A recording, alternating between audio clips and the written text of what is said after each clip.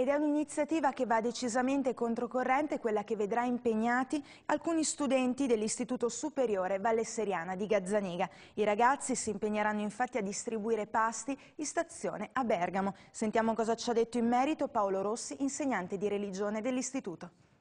Sì, è nato all'interno dell'educazione e la prevenzione delle dipendenze Abbiamo anche chiesto ai ragazzi non solamente di ascoltare qualcuno che viene a loro parlare sulle dipendenze, droga, alcol, gioco, eccetera, ma anche di mettersi in gioco loro stessi. Abbiamo proposto questa, eh, questo intervento di volontariato, un intervento di volontariato che eh, si svolgerà su base volontaria. Abbiamo chiesto ai ragazzi del, del secondo anno fondamentalmente che cosa?